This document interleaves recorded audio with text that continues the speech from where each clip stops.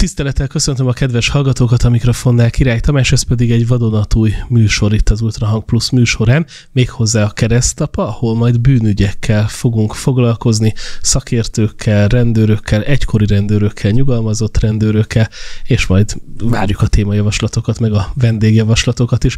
Az első vendégünk a jó oldalon állt a nyomozás során, és nem keresztapa, sokkal inkább rendőrtint, itt van velünk a stúdióban Kovács Lajos. Jó napot kívánok, köszönjük, hogy elfogadta meghívásunkat. Ugye ön hosszú időn keresztül vezette az országos rendőrfőkapitányságon az úgynevezett döglött ügyek osztályát, rendőrként szolgálta a hazát évtizedeken át, és számos nagy ügynek a megoldása, nyomozása fűződik az ön nevéhez, a Hungária körúti OTP fiókban elkövetett rablógyilkosság, ugye pont itt a folyosón beszélgettünk a Múri mészárlásról, Magda Marinkó gyilkosság sorozata, Pándi András gyilkosságai, és még hosszasan sorol sorolhatnánk. A nulladik kérdés, hogy miért lett ön rendőr? Egy pillanatig helyesbítenék, ez nem az, csak az én érdemem a felsorolt ügyekben való sikerek vagy kudarcok, nem feltétlenül egyedül az én érdemem, hanem ez mindig kollektív munka. Az emberölési nyomozások a legtöbb ország rendőrségénél nem szóló teljesítmények, hanem egy bizonyos csapatnak a, a munkáját dicsérik, vagy, vagy kudarcát igazolják hogy mikor lettem rendőr? 1970-ben, ez borzasztó régen volt történelmi évszám ez, lassan, 70-ben 20 éves koromban lettem rendőr, és a BRFK életvédelmi osztályára kerültem rögtön, bár egy-két hónapot dolgoztam egy kerületi kapitányságon gyakornokként tulajdonképpen. Ezután kerültem 7-8 év után a az ORFK-ra, az Országos Rendőrfőkapitányságra, annak a bűnügyi osztályára, és ott dolgoztam egy olyan 20 évet körülbelül. Ezt ön döntött el, vagy oda tették? Nem, a Hungária körúti kettős gyilkosság nyomozásában nyújtott teljesítménye, mondom idézőjelben, mert az egy felderítetlen gyilkosság maradt, de azért a nyomozás nagyon sokáig folyt, és nagyon sok mindent csináltunk abban az ügyben, és a szakszerűen folyt, én merem állítani. Bár utólag talán meg lehetne tippelni, hogy hol csúsztunk mellé az ügynek, tehát nem lett meg a megoldása. Tehát abban szúrt ki magának az akkori órepkán dolgozó egy ezredes, aki magához vett a saját egységéhez, és ez azt jelenti, hogy a, az Országos Rendőrfőkapitányság életvédelme osztályára kerültem nyomozóként, ami azt jelenti, hogy ugyanazt csináltam, mint a BRFK, csak országos szinten, nem pedig a főváros szintjén. Ott dolgoztam közel 20 évig, és az utolsó nyugdíjba menetelem előtti utolsó 7-8 évet dolgoztam a Nemzeti Nyomozó Iroda és előtt szervei egyik alegységének, az ott levezett döglött osztályának a vezetőjeként. Tehát tulajdonképpen a szakterületen 40 éven keresztül ugyanaz volt, csak az egységek változtak, amelyeknek a keretében én ezt próbáltam valamilyen szinten űzni. Szerette csinálni? Én imádtam csinálni, de nem, nem csak azt, amit az ügyek jelentettek, ott nyilván sok volt a tragédia, sok volt a dráma, sok volt a kudarc is persze, hanem azt a légkört, amit ezek az életvédelmi nyomozók és az ő általuk végzett munka és életforma jelentett, az, az nekem nagyon bejött annak idején, nagyon szerettem velük dolgozni, és ez ilyen a hagyományos szöveg, hogy szerencsésnek mondhatom magam, hát tényleg mondhatom magam szerencsésnek, mert olyan emberekkel dolgoztam, akitől tanulni is lehetett, színes egyéniségek voltak, és nagyon jó szakemberek voltak köztük.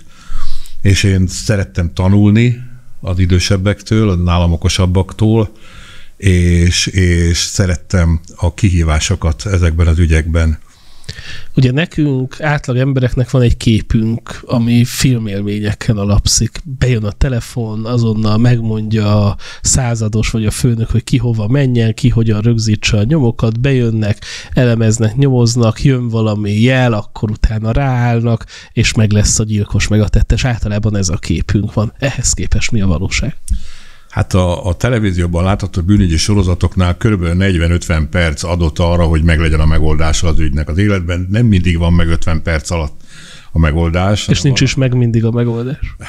Vannak olyan ügyek, ahol azért ennél lényegesen tovább tart. De a recept körülbelül ugyanaz. Valamilyen valóság alapjuk azért van ezeknek a krimiknek, különösen azoknak, amik a helyszínelők és ebbe a kategóriába sorolható bűnügyi történetek, mert itt azért biztos, hogy működnek valamiféle szakértők a forgatókönyvek megírásánál, mert maga a nyomozás menete sokszor emlékeztet a valós életben mm. folytatott munkára. Sok krimi persze teljesen elrugaszkodott megoldásokat tartalmaz.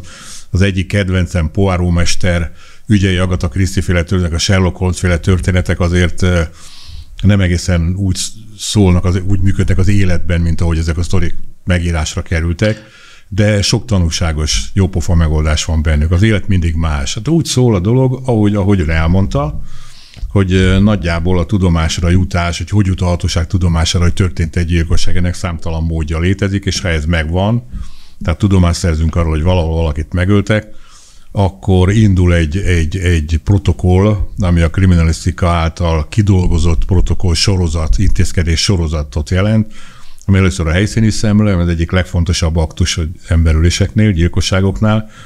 A helyszíni szemlővel párhuzamosan beindul egyfajta adatgyűjtés, ami az áldozat ismerősi körét jelenti egyrészt, másrészt meg a helyszín környékén megforduló embereknek a kihallgatását jelenti másrészt. Próbálunk tanúkat találni, akik látták érkezni vagy távozni az elkövetőt. Az áldozat életformájáról mondanak egy-két gondolatot. Most már a digitalizáció időben, idejében vagy korábban megnézzük a mobiltelefonját, a, a, a Facebook oldalát, a, a, az internetes kéz lenyomatait gyakorlatilag, és abból rengeteg információt lehet nyerni. A biztonsági kamerák felvételei nagyon sok információt nyújtanak, a DNS pedig az egyik legkomolyabb bizonyítékán nőtte ki magát. Tehát, hogyha a helyszínen megtalálják az elkövetőnek a DNS-ét, akkor már csak meg kell azt a személyi kört húzni, ahol indoka lehetett valakinek megölni az elkövetőt, és azokat DNS alapján megpróbálni azonosítani, és ha valamelyik DNS beletalál az egyik gyanúsítottba, akkor ott van a megoldás. Akkor, amikor a DNS technológia megjelent, akkor az forradalmasította a nyomozást? A, a kriminalisztikában egy olyan 5-6 olyan időpontot lehet nagyjából belőni, amikor forradalom történt tulajdonképpen a bűnüldözésben. Hihetetlen nagy lehetőségek nyíltak meg minőségileg a nyomozók előtt. Hát ebből az egyik nyilván az volt, amikor a vérrel kapcsolatos megállapítások születtek, tehát még az elején az emberi vért az állatvértől sem tudták megkülönböztetni. Aztán a vért egyre inkább lebontották, felfedezték, beazonosították. Az alfaktorokra való lebontása, a vércsoporton belüli alfaktorokra való lebontása, az olyan szinten elfogadott volt bizonyítékként, hogy a rendszerváltás előtt, amikor még Magyarországon létezett halálbüntetés, ha a, az áldozatnak a vérét megtalálták a gyanúsítottnak a, a nadrágján, vagy a kezén, vagy az ingén, vagy a manzsettáján, vagy valamilyen eszközén, amit otthon elrejtett, vagy eldobott, és hozzá lehetett kötni az eszközt persze, akkor ez már halálos ítélet kimondását is megalapozhatta. Tehát a vérazonosság, az alfaktokra bontott vérazonossága. Aztán nyilván volt a balisztikában, a fegyverekkel kapcsolatban is egy borzasztóan előrelépés, daktiloszkópiáról nem is beszél, amikor bejött az új azonosítás, az hihetetlen nagy lehetőséget nyitott meg, mert ez már a személy konkrét egyedi beazonosítását tette lehetővé. Aztán jött természetesen a DNS, és most jött a digitalizáció, ami, ami szerintem legalább akkora súlyjal jelentkezik a bűnöldözésben, mint, mint a korábban felsoroltak. Ez nem teszi unalmassá az önök szakmát, vagy inkább? Hát ez egy érdekes kérdés, mert én azt veszem észre, hogy a a mai ifjú nyomozók többsége kénytelen beszorulni az íróasztal mögé és a számítógép mögé. És hacker lesz a nyomozó, hát vagy éppen hacker lesz, igen. Nyom egy entert, és annyi információt kap, hogy, hogy föl sem emelte a fenekét az íróasztal mellett a székről, és már dől az információ a számítógépes nyilvántartásokból. Régen ezekért egyenként meg kellett dolgozni ezekért az adatokért, most meg a gép szórja az adatokat. De az nem helyettesíti az emberi agyat, hogyha ki kell hallgatni egy gyanúsítottat, és rá kell venni egy beismerő vallomás, vagy rá kell vezetni egy beismerő vallomásra, ezt a gép nem nagyon teszi meg nyilván, ehhez kell egy nyomozónak az agya, az értékelő tevékenysége, az elemzőkészsége, az intuíciója, az empátiája, tehát olyan emberi tulajdonságok kellenek, ami a mesterséges intelligencia lehet, hogy rendelkezni fog ezekkel valamikor, de azt a kilagatást azért megnézném, az egyik oldalon ül egy bűnöző, a másikon meg egy mesterséges intelligencia teszi fel a kérdéseket. Elvileg elképzelhető, de én azt mondom, hogy nagyon nehezen lehet majd pócolni a, a, az okos nyomozónak a, az agyát, amely egy nyomozásnál tartalmazza az adatokat, a szükséges adatokat. Ugye érdekes, amit mond, mert szerintem kiegészítésnek nagyon jó a mesterséges intelligencia. Most pont valaki mutatott nekem egy olyan platformot, ahova feltöltünk valakiről egy képet, és az az egész interneten felelhető összes képet kidobja az emberről. Én megpróbáltam a sajátommal, és még ilyen tinédzserkori képeimet is kidobta, ahol tényleg teljesen máshol néztem, meg még olyan képeket is találtam magamról, ahol egy rendezvényen álltam a tömegben, tehát tényleg el képesztő, amit tud, de ez a pszichológiai része, meg az érzelmi része az az, ami talán máshogy működik a mesterséges intelligenciának, és akkor itt merül fel bennem az a kérdés, hogy mitől jó egy jó nyomozó, és milyen olyan technikákat alkalmaz mondjuk kihallgatásnál, ami miatt aztán akár aki előtte balta arccal azt mondja, hogy nem volt elkövető, egyszer csak beismerő vallomást tesz. Hát most már vannak olyan filmek, nekem a 24 volt, ha megvan ez a film, meg, a 24 volt az első olyan élményem, ahol, ahol ez a irodában képernyőkkel külvéve ülnek ezek az elemzők, akik nézik a város képeit, meg a nyilvántartásokba hozzáférésük van mindenféle összegyűjtött adatbázishoz, és szinte kisejönnek a helyiségből, és belövik, hogy ki a tettes, és hogy hol mozog és a végén csak szólni kell az elfogó egységnek, aki kimegy arra a címre, amit meg. De azt ez például mennyire egy reális dolog? Ennek van reális alapja. Én azt mondom, hogy ennek az elemei már ma is léteznek, tehát ez eljön az az idő, amikor ez be fog következni, amit ott a 24-ben vagy az NCIS sorozatokban lehet látni. A Blacklist most egy, nem tudom, az megvan-e, azt nagyon ajánlom a hallgatóknak, ott is ez van, hogy mindent elemeznek, és drónokkal nézik, és közúti kamerákra rácsatlakoznak, és mindent látnak. De nem csak az, most már van az arcfelismerő rendszer, Igen. működik Magyarországon is. Tehát gyakorlatilag van egy, egy bűncselekmény, amelynek az elkövetője biztonsági kamera felvételen szerepel, tehát fölveszi a kamera a menekülő vagy az érkező tettes, akinek megvan az arca. Az arcfelismerő rendszer be tudja azonosítani, akkor van egy nevünk és adataink hozzá.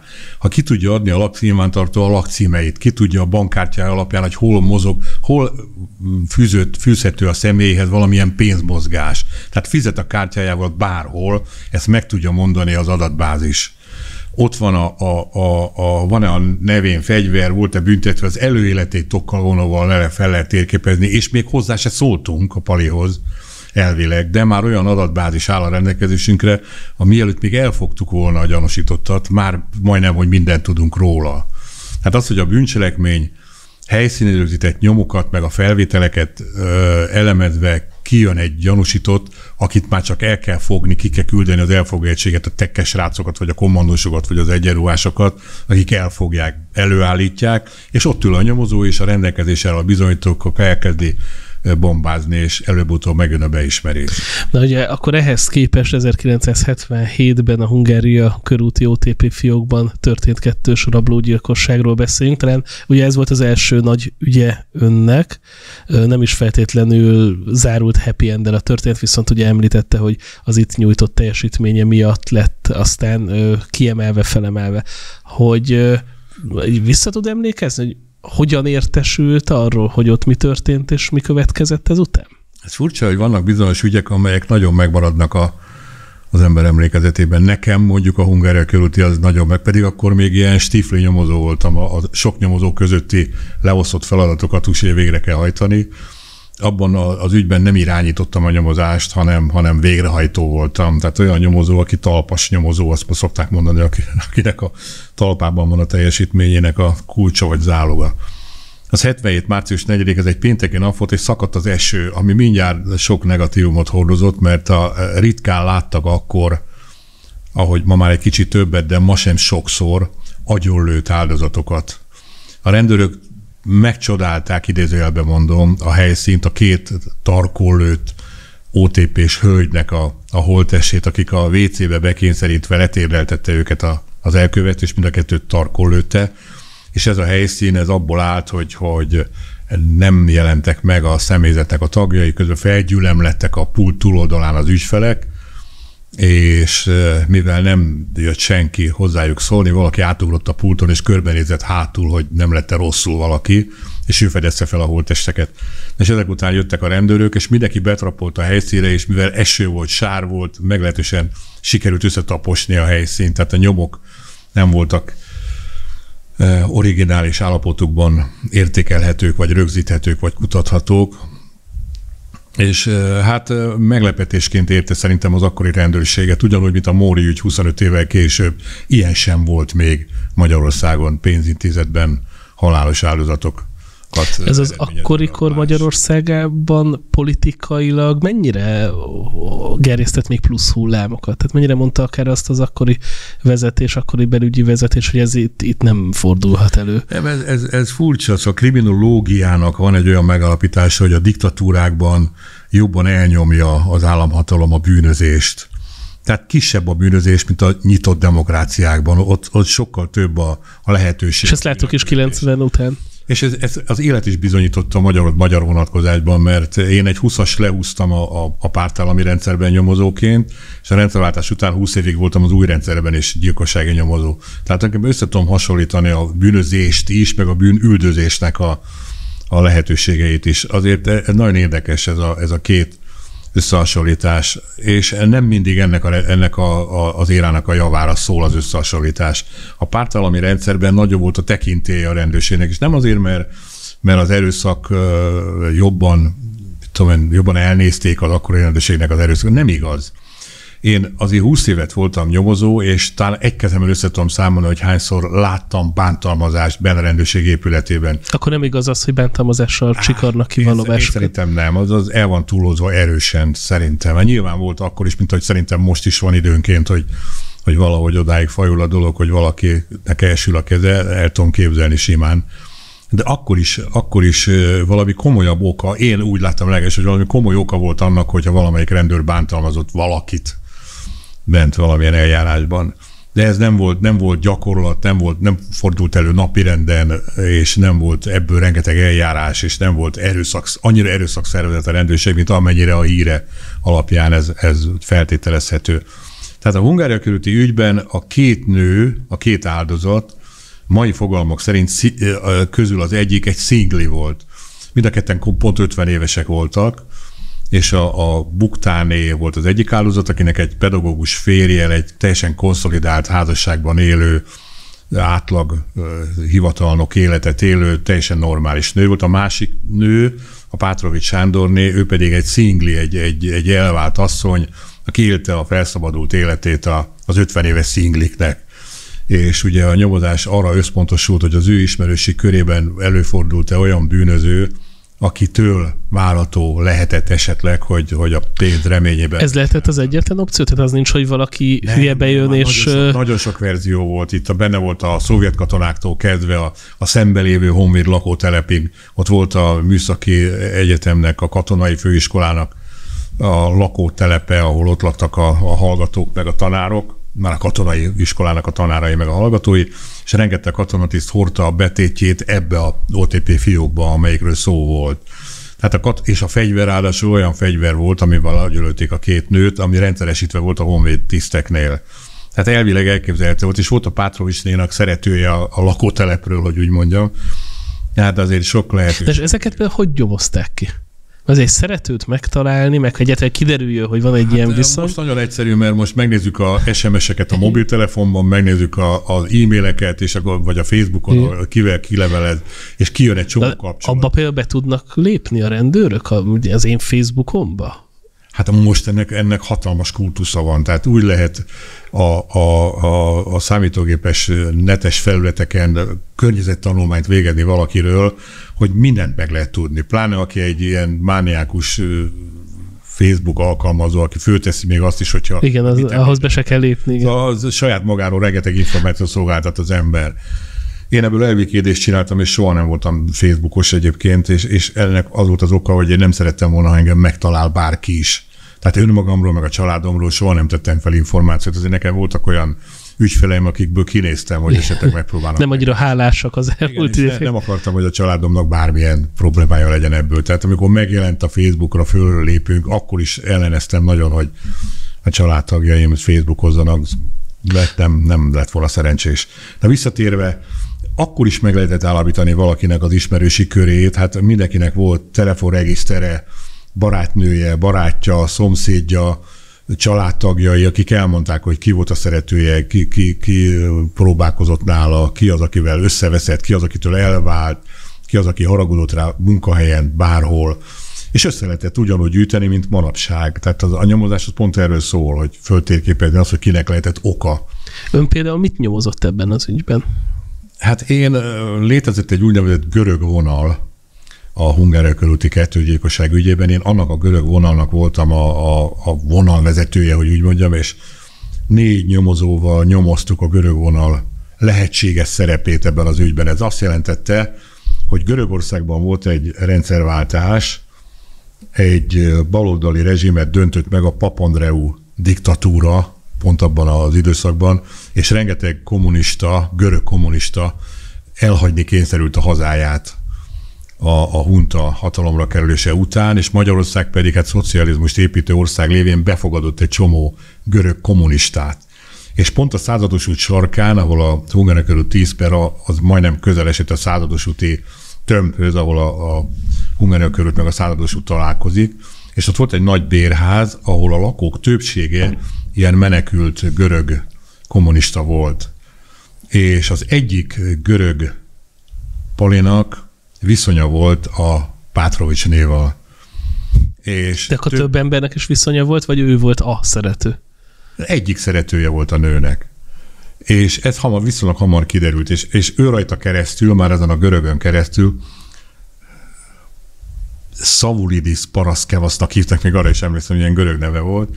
Rajta keresztül több görög ügyfele lett az OTB fióknak és ezek a görögök önvédelmi fegyverekkel rendelkeztek, partizánok voltak otthon, tehát fegyver használatban, fegy, a lövöldözésben, a, a, akár, szóval ezek ez potenciálisan elképzelhető volt, hogy valamelyikük valamiért megcsinálhat ezt a bűncselekményt, és az ő ellenőrzésük volt ennek a bizonyos görög vonalnak a feladata, amelynek én voltam a vezetője. Tehát az én feladatom pont ez a görög személyi kör, a Pátrovisték görög személyi ismerősi körének a kizárása volt, vagy a, vagy a bebizonyítása, hogy nem közülük kerül ki a és tettes. mit csinált ők? Megfigyelte őket, vagy beszélt velük? Nem, vagy... alibiztettük őket, és a viszonyukról kérdeztük, és nyomokat rögzítettünk. Hát azért maradtak nyomok a bankban, amelyek azért beazonosítottak lettek volna, ha beletrafálunk a, az igazi gyanúsítottba. És a görögök ki lettek zárva végül?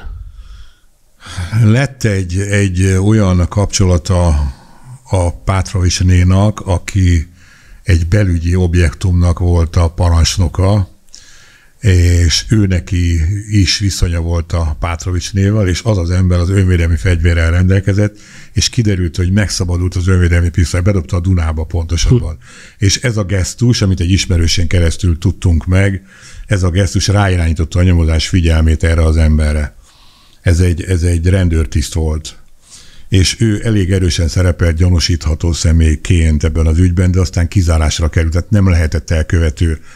Mert ez, Miért dobta be a fegyverét? Mert azt gondolta, hogy majd azt gondolják, hát hogy ő az, volt? Azt gondolta, hogy azt gondolják, igen. Körülbelül ez volt a, a recept. És Na ez viszont egész poáros. De lehet, hogy valami más csinált a fegyverével. Nem tudom, ez a vonal nem az enyém volt, csak tudom, hogy létezett ez a vonal erősen és ennek az embernek az életét a nyomozás szerintem elég intenzíven tönkretette. Tehát ki elbocsátották, nyugdíjba helyezték, ellenőrizték, sőt előzetesben is volt, mert az ügyészség úgy ítélte meg, hogy azért a, a, a gyanú, az alapos gyanú fennáll vele szemben.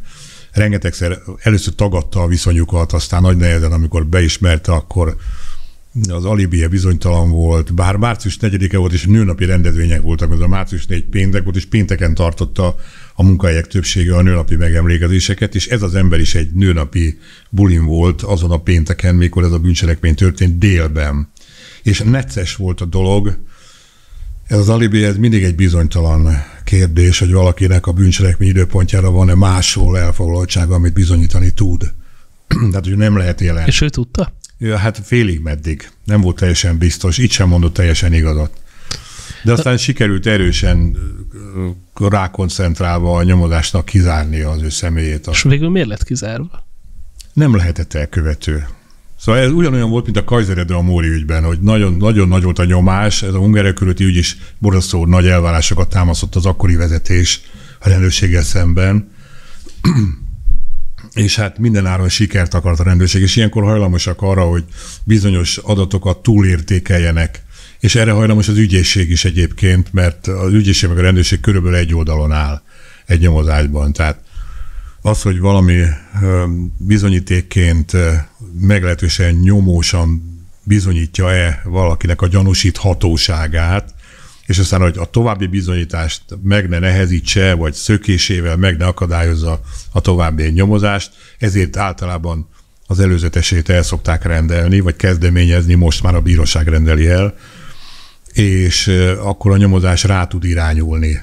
És miközben az ő kiallgatása folyik, azzal párhuzamosan még megy a nyomozás és előbb-utóbb eljut egy olyan szintig, hogy el lehet dönteni, hogy le van-e köze, vagy nincs köze az ügyhöz. És itt kiderült egy idő után, hogy az ember nem lehet tettes. De sok minden másról is kiderült, tehát akkor volt az úgynevezett sós ügy, ami azt jelentette, hogy egy Sós Lajos nevű bűnöző és a társai, tehát ilyen egy négyfős ö, konkrét bűnözői csoportról van szó, akik öt gyilkosságot követtek el kb. 15-16 év alatt. És az utolsó gyilkosságuk egy rendőrgyilkosság volt, a Steinmetz szobornál az ülőjött végén előttek egy rendőrt a fegyveréért, megölték és elásták a holtestét, és ez nagyon nagy nyomozást eredményezett, és utána a nyomozás felszíre hozta ezt a bűnszervezetet, és halálra ítélték a sós, meg az egyik bűntársát, tehát két halálos ítéletet szabott ki a bíróság. És azért, hogy ez utólag így sikerült rekonstruálni, azért, hogy el tudja napolni, vagy meg tudja akadályozni a halálbüntetés végrehajtását, a sós beismerte a Hungária körúti kettőgyilkosságot. Hm. És akkor egy nyomozás, ami két-három hónapig tartott, egy elég intenzív nyomozás, az volt hivatva bizonyítani, hogy az a beismerés igaz lehet-e vagy sem. És komoly nyomozás eredményeként sikerült megalapítani, hogy ez egy fals beismerés. Amikor azt kell nyomozni, hogy nem is ő volt. Az, azt kellett bizonyítani a nyomozásnak, hogy nem ő lehet, ő nem lehet az elkövető és erre is elment az idő meg az energia egy jelentős része. Hadd kérdezek még ehhez a nyomozáshoz, hogy láthatóan itt van egy ilyen érzékeny magánéleti szál, az az, hogy a hölgynek volt több szeretője. Nyilván az ilyen szeretői viszonyokban a másik oldalon is akár állhatnak családok, házasságok. Amikor ilyen házasságtöréses sztorik vannak, azt mennyire kellemetlen kinyomozni, meg megbeszélni?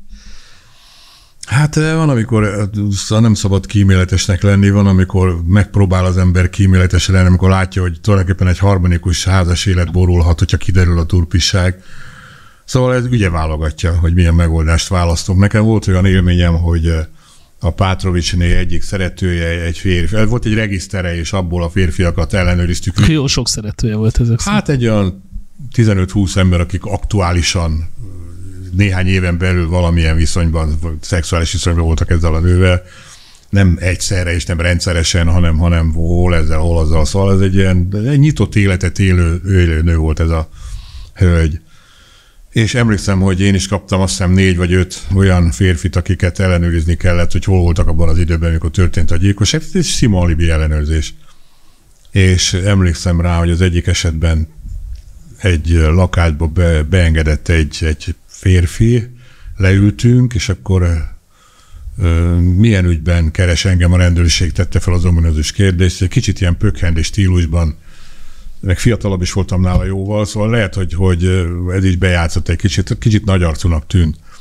És akkor mondom, hogy de, de én hadd mondjam én ezt négy szem közt önnek meg, hogy, hogy miért is kerestem meg. És akkor mondta eléggé vagány stílusban, hogy nekem nincs titkom a feleségem előtt mindent közösen megbeszélünk, mondja nyugodtan. És akkor én föltettem az ominózus kérdést, hogy hadd kérdezze meg, hogy ismeri-e ön a Pátrovics Sándornét. Erre a Pali rögtön azt mondta nejének, hogy szívecskén főzni nekünk egy kávét, és kiküldte az asszonyt a szobából, mert rögtön rájött, hogy miről van szó, és akkor érezte, hogy ez, ez nem biztos, hogy az asszony süleinek való. Szóval nem, nem kell rögtön ajtóstól berohanni a házba, és elmondani, hogy a maga szeretője ügyében vagyok itt, és szeretném, hogyha visszaemlékezne arra, hogy hol volt március 4-én, hanem lehet ezt, hogy úgy mondjam, kulturáltan is. De hogy nagyon sokszor például ilyen helyzetben lehet, hogy nem azért tagadnak, mert megölték az illetőt, hanem azért, De, hát mert nem ez, akarják, hogy... Ez mindig benne van a kalapban, hogy valaki másért hazudik, vagy másért kicsit csavar az igazságon, de nem azért, mert ő az elkövető, hanem azért, mert valami más indoka van arra, vagy más motiv van arra, hogy ne a valóságról beszéljen, vagy te kicsit hamisítsa meg a történteket. Na és akkor ugye... Ha bűnözőkről van szó, bocsáss meg, ha bűnözőkről van szó, vagy tudom én, ahogy a fenyőügyben, vagy a szlávi búcsú ügyében találkoztunk a szervezett bűnözésnek bizonyos vetületeivel, ott meg majdnem mindenki, a tanúk is, a gyanúsítottak is bűnözők. Tehát ott meg abóvó arra kell felkészülni, hogy majdnem, hogy ritkaság az, hogy valaki teljesen igazat mond, hanem mindenki valamilyen módon fakít, vagy ferdít. Vagy Ön egyébként tudja, hogy az illető mikor mond igazat, meg mikor hazudik? Olyan nyomozó így belelát az ember legmélyébe? Hát azt nem merném állítani, hogy belelátunk, azt nem mondom, de, de biztos, hogy idő után egy gyakorlatra teszel az embert, hogy azért észre lehet venni, hogy valaki kamot. Mik a jelek? Különböző ö, fizikális jelei is vannak ennek. Hát ez menet közben kiderül, hogy valaki pisz, megpiszkálja az órát, vagy megpiszkálja a fülét, vagy hunyorít, vagy, vagy gyorsabban beszél. Szóval van a, hang, a hangban is, a tónusban is, a testbeszédben is vannak jelek, amikor valaki nem az igazságot mondja, akkor, akkor valami, valahogy látszik rajta.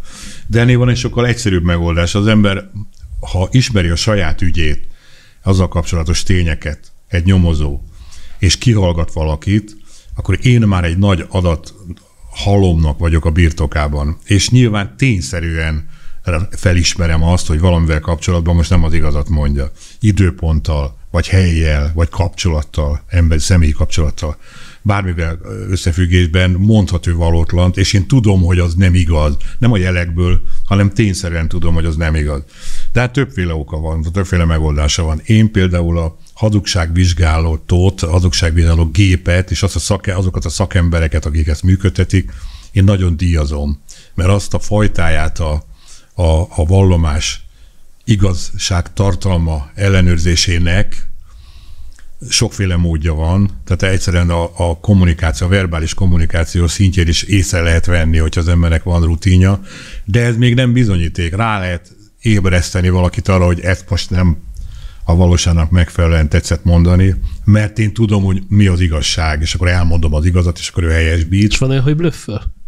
Hát a taktikai blöff az szerepel a kriminalisztikában. Az a hazugságnak egy nagyon furmányos formája, aminek kell, hogy valóság alapja legyen. Amikor előadást szoktam tartani, azt szoktam mondani, hogy aki házas ember, aki nős ember, az a taktikai blöffből szerintem ösztönösen valamilyen élettapasztalatra tesz szert, mert tudja minden férj, hogyha hazudni kénytelen a feleségének, akkor azt úgy kell tenni, hogy valami valóságtartalma legyen, mert a szintiszta kitaláció az egyenes út a bukáshoz. De ha valami olyat hazudik az ember, aminek van valóság alapja, és csak egy része hamis az elmondásnak, az könnyebben elhihető, könnyebben hihetővé tehető. A taktikai blöffnek pont ez az alapja. Tehát azt elhitetni valakivel, hogy én többet tudok, mint amennyit tényleg tudok, és ő ezt tényleg elhiszi, és ezért beindul az ő beismerő vallomása. Na ez a jókor, jó helyen alkalmazott taktikai blöff, és az ő eredménye. Milyen érzés az, amikor megtörik a ég, amikor azt mondja, hogy na jó, akkor most elmondom? Hát én azt mondom, hogy nekem azért, azért jó néhányszor volt olyan élményem, mikor beindult, szokták mondani azok, hogy beindul valaki, egy darabig hallgat, vagy hülyeségeket beszél, vagy tagad, nem tudom, miről beszél, nem, hall, nem, nem emlékszem, mondhat bármit, és akkor egyszer csak érzi, hogy innen nincs tovább, valami átbillent ezen a holdponton, ha tényleg az elkövető persze, és elkezdi beismerni, és mondjuk akkor már eltelt egy olyan 6-8 óra, amikor eljutunk ide, és ennél jobb érzés szerintem nem létezik. Szóval ez valami olyan kielégülés, olyan szellemi kielégülés, amikor az, és, és, és nem szabad ugrándozni, elkendezni, hanem, hanem ugyanolyan fapofával kell ülni, mint, mint addig. Tehát gyakorlatilag csak, csak belül kell elkendezni valahogy, nem is tudom, hogy mondjam el, hogy belül nyilván az emberben tombol a, a, a, a siker fölött érzett eufória, de ezt nem szabad mutatni, hanem ugyanúgy kell kihallgatást folytatni, mintha mi sem történt volna. Maximum rá kell erősíteni verbálisan, hogy na most jó úton halad. És meg kell hallgatni persze okosan, ha valaki beindul. Az egy nagyon, szoktam mondani, hogy egy ejakuláció prékok szinte, amikor valaki egy gyilkosságot elkezd beismerni. Ez egy csodálatos érzés. És egyébként, amikor kimegy a kihallgató teremből, akkor szokott újongani, vagy ilyenkor például megünnepelte ezeket a sikereket? Hát a nyomozóknál valamikor régen, most nem tudom, hogy megy, mert már azért tizenéve nyugdíjas vagyok, és gondolom, hogy most sem másképpen történnek ezek a dolgok. Tehát, hogyha valaki nagy ügyben beismerő vallomás nyer ki a gyanúsítottból, az egy akkora siker, nem minden nap van ez. Az egy akkora siker, hogy ez valamilyen, mint, mint egy születésnap, mert az ember valamilyen módon megpróbál megemlékezni róla és mi nálunk mindig valami közös italozásba, vagy meghívlak valamire, vagy megdicsérlek, szóval valamilyen, Ezek ünnepeltek. valamilyen ünneplés biztos, hogy folyt minden alkalommal, mert azért néha évek teltek el, úgyhogy nem volt siker.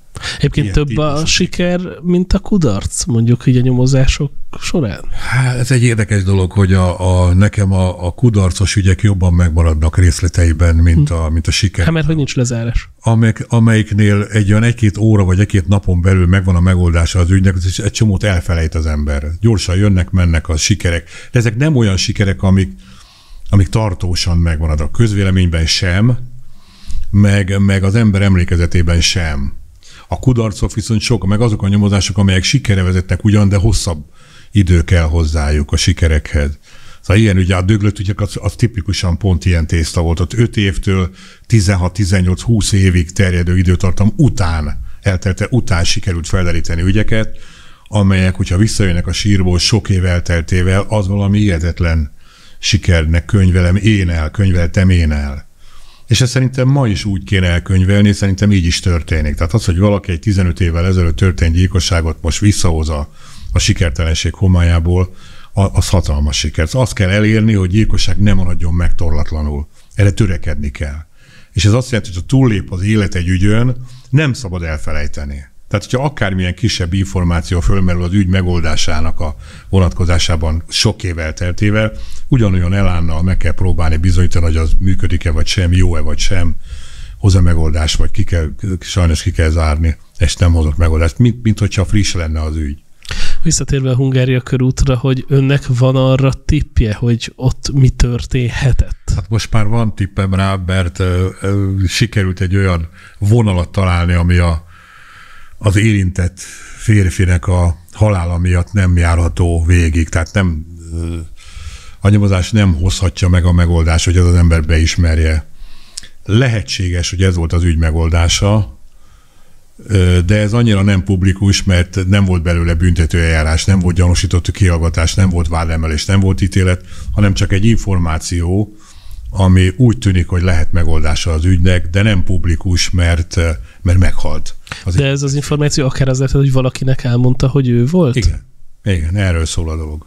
És mennyire általános az, hogy bizonyos ügyekben valakinek valaki elmondja, hogy ő volt, és lehet, hogy nem is ő volt, de lehet, hogy ő, szóval hogy ez ilyen ködös mindig, nem? Hát nyilván függ attól, hogy milyen körülmények között hang, hangzik ez el, mert ebben az esetben egy alkoholista paliról van szó, aki egy vidéki faluban a kocsmárosnak mondja el, rész, általában részegen, és amikor meghal ez a pofa, akkor a kocsmáros nem hiszi el, nem veszi komolyan. Egy részeg embernek a hablatyolása az nem biztos, hogy komolyan vehető. Ez el, el is hihető, hogy, hogy ez lehet, hogy csak nagy zól, vagy lehet, hogy felvág, lehet, hogy szeretné, ha így de ezáltal szeretne egy kicsit híresebb lenni, vagy valami hasonló, motiválja őt ebben.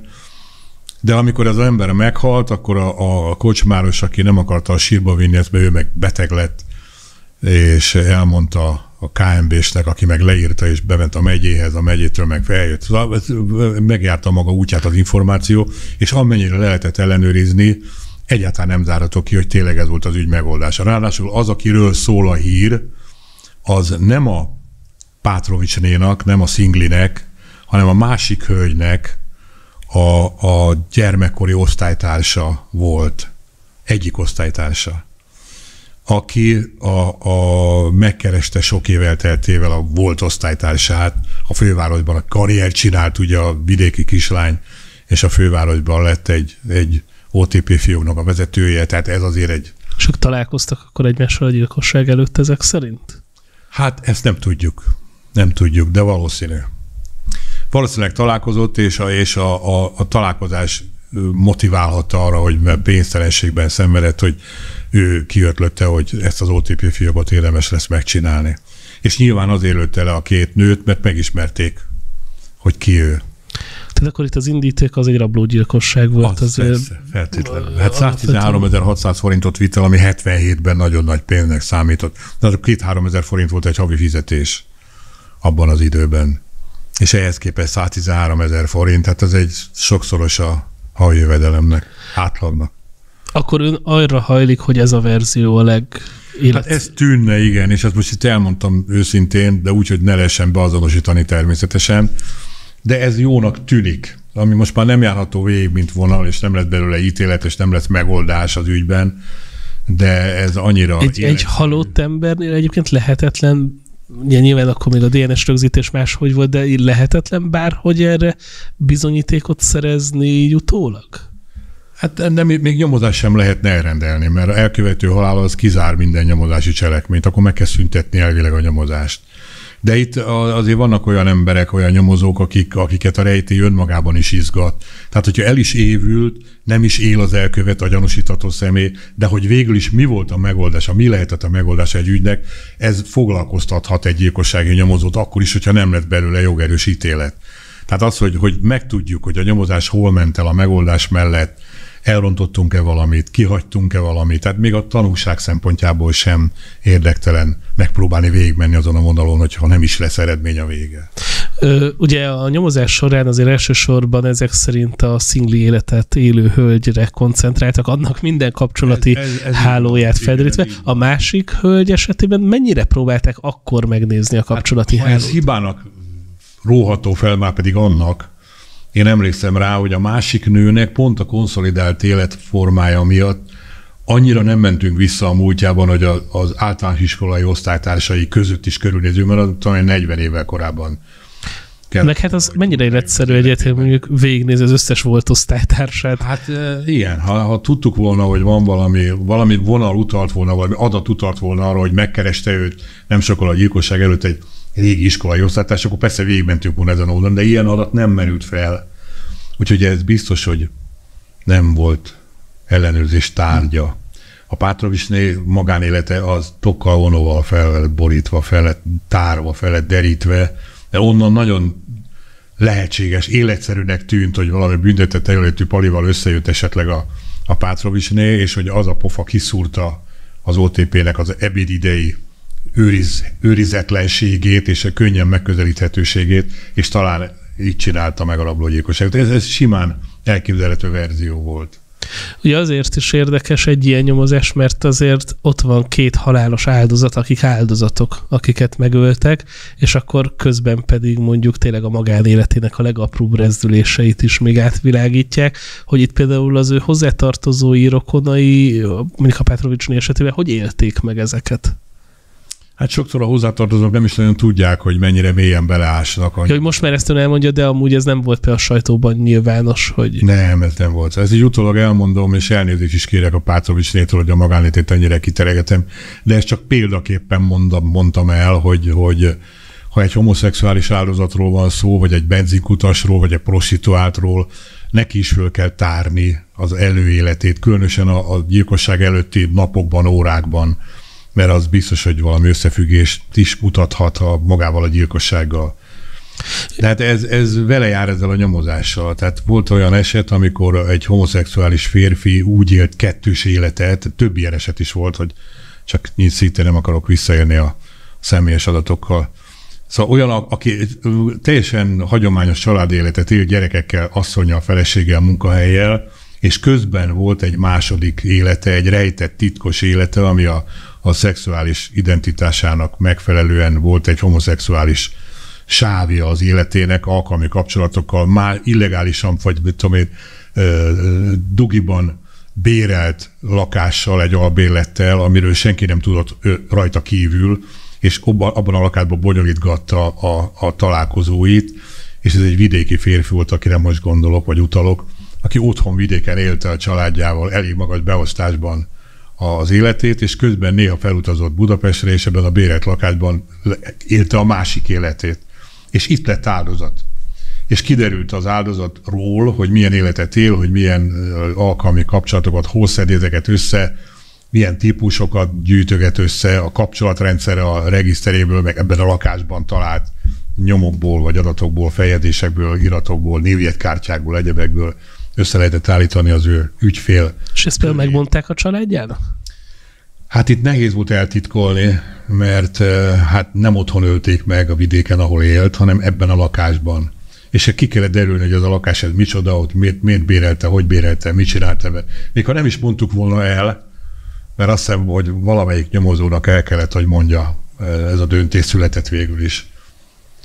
Hát gondolom, megkérdezték a feleségét is, hogy mi az a lakás, ő meg nem is tudta. Volna, persze, itt biztos, hogy kiderült volna. Ezek nagyon nehéz dolgok, mikor... Ezek, ezek nem könnyű dolgok, persze, és egy csomó ügynek van ilyen hordaléka, amilyen magán jellegű vívódásokat is jelent. De hát a, a nyomozás érdeke ezeket felülírja. Hát, amit meséltem a férfiról, aki a Pátrovicsné szeretője volt, ott próbáltam kultúrát nem, nem úgy berobbanni, hogy tökre tegyek egy, egy normálisan működő házasságot, mert ez is benne volt a kalapban, hanem úgy, hogy valahogy az ember próbálja nem visszaélni azokkal az adatokkal, amik a tudomány. Egy nyomozás mindig sokkal többet kiderít az áldozatról, mint amennyit a saját családtagjai, a hozzá közel álló rokonsága tud.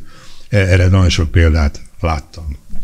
És akkor végezetül egy utolsó kérdés mára, hogy ö, látnak halottakat, tragédiákat, helyszíneket, összetört emberi sorsokat, a nyomozás néha nem sikerül, akár objektív okok miatt, hogy ez mennyire viseli meg az embert, és hogy tud este úgy hazamenni a családjához, hogy reg- lehet, hogy reggel még a, halottak között volt, és, és este meg haza kell menni, és akkor...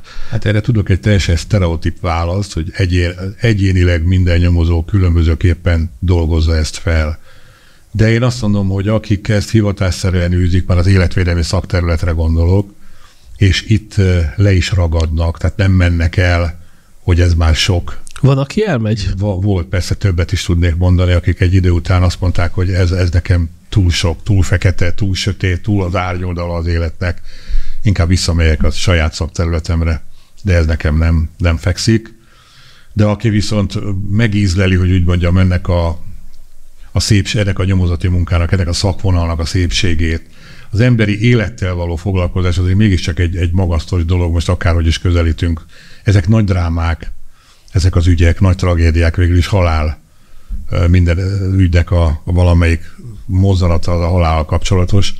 De hogyha az ember a másik oldalról közelít, tehát az, hogy a közöttünk élő gyilkosokat valamilyen módon megtalálni és kirekeszteni, tehát megmenteni a társadalmat attól, hogy itt közöttünk újabb ölésnek az esélye megmaradjon, és ezen dolgozni, és ezt, ezt átéli, vagy megérzi az ember, meg ezeket az érzéseket, hangulatokat, feelingeket, amire, amire utaltam, be tudja szippantani az embert, és nagyon-nagyon jó ezt csinálni. Szóval, ha meg arra vonatkozott a kérdés, hogy a halottak látványát, meg a, az emberi tragédiáknak a tudatát, hogy viseli el az ember a hétköznapokban, tehát otthon a családi életet fölborítja-e, vagy befolyásolja-e.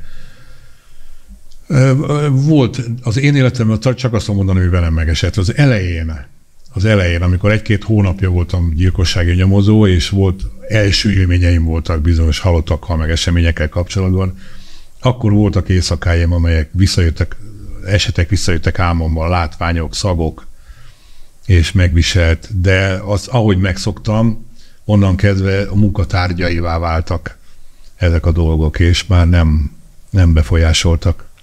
Akkor utolsó utáni kérdés, van olyan ügy, amin még, aminek a megoldása még most is gondolkodik? Hát ez a Hungária az egyik ilyen ügy volt, az biztos, és a másik a Farkas Helga ügye volt, az a szegedi lány, akit elraboltak 91-ben, és soha nem került elő a holttest. Az elkövetők előkerültek, bírósági tárgyalás is volt az ügyben, el is ítélték az egyik elkövetőt, a másik meghalt.